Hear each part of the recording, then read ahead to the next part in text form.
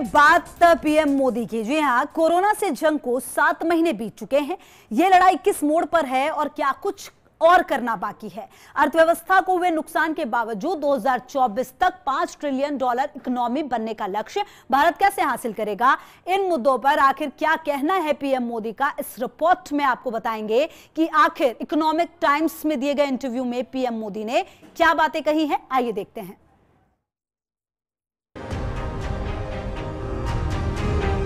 एकजुटता के मंत्र ने कोरोना से जंग में अहम भूमिका निभाई। डिलीवरी मैकेनिज्म को आधार बनाकर ये जंग जीत सकते हैं। 2024 तक 5 ट्रिलियन डॉलर इकोनॉमी का लक्ष्य हासिल करें।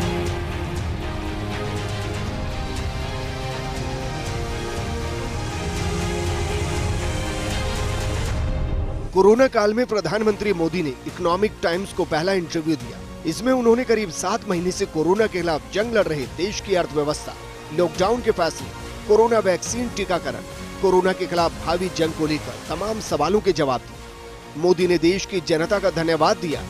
उन्होंने कहा कि देश की एकजुटता के मंत्र ने कोरोना के खिलाफ लड़ाई में अहम भूमिका निभाई। पूरे देश ने एक टीम के तौर पर काम करके कोरोना को हराने में सरकार का पूरा साथ दिया।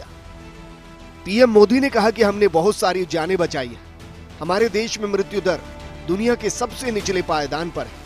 यहाँ तक कि प्रति मिलियन की मृत्यु पर देखा जाए तो कई विकसित देशों में भी हम बेहतर हैं। पीएम ने दोहराया कि अभी हमारे लिए सभी एहतियातों का पालन करना बेहद ज़रूरी है। इनमें चाहे वो मास्क पहनना हो, या हाथ धोना, या फिर सोशल डिस्टेंसिंग का पालन ही करना क्यों ना उन्होंने ज़ोर देकर कहा कि जब तक दवाई नहीं, तब तक ढिलाई नहीं।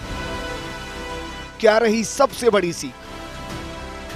बीते महीनों में एक बात तो एक पॉजिटिव लर्निंग के तौर पर सामने आई, और वो ये है कि इस तरह की महामारी के दौर में डिलीवरी मैकेनिज्म को आधार बनाकर कोरोना जैसी बीमारी से जंग को जीता जा सकता है। डायरेक्ट बेनिफिट ट्रांसफ़र के ज़रिए देश ने इतने कम समय में बिना किसी भ्रष्टाचार के करके दिखाया है। सबसे बड़ी सीख रही कि देश की सरकार और इस देश के लोग एक साथ किसी भी चुनौती का सामना कर सकते हैं।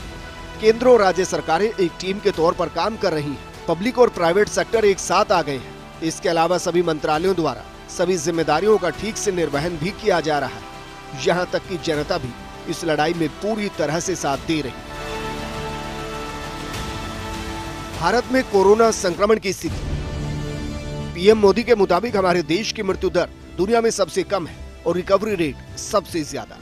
इसके अलावा एक्टिव केसेस की संख्या में भी लगातार गिरावट दर्ज की जा रही सितंबर माह में हम सत्तानवे हज़ार आठ सौ चौरानवे हर दिन केसेस के पीक पर थे। वहीं अब अक्टूबर के अंत में नए केसों की संख्या पचास हज़ार तक आ पहुँची है। ऐसा इसलिए संभव हो पाए क्योंकि पूरे देश ने एकजुट होकर टीम इंडिया की तरह काम किया। कोरोना वैक्सीन को लेकर क्या है तैयारी? पीएम नरेंद्र मोदी ने कोरोना वैक्सीन को लेकर भी अपनी सरकार की तैयारियों की जानकारी दी। उन्होंने आश्वस्त किया कि देश के आखिरी छोर पर मौजूद आदमी तक कोरोना वैक्सीन पहुंचाई जाएगी। पीएम मोदी ने कहा कि देश के हर नागरिक को कोरोना वैक्सीन लगेगी, यानी फ्री टीकाकरण की तरफ़ इशारा किया गया। विपक्ष नहीं चाहता कृषि कानूनों का श्रेय हमें मिले। खेती कानूनों के विरोध पर पीएम मोदी ने कहा कि कई एक्सपर्ट ने इन सुधारों की लंबे समय से पैरवी की है।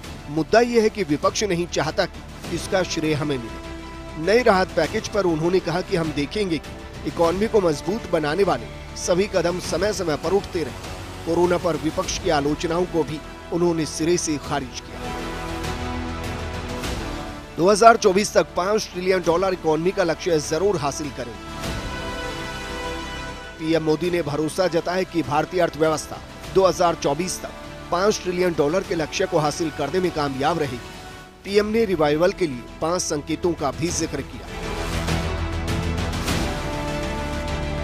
कृषि रिकॉर्ड उत्पादन और खरीद, एफडीआई, अप्रैल अगस्त के बीच पैंतीस दशमलव सात तीन बिलियन डॉलर, तेरह फ़ीसदी का इजाफा। ऑटोमोबाइल, ऑटो सेक्टर की मांग वापसी के संकेत, उत्पादन स्थिर रिकवरी से ब्राज़ील और चीन के बाद तीसरे स्थान पर भारत। ईडीएफ को नए सब्सक्राइबर के रजिस्ट्रेशन नौकरियों में इजाफे के संकेत।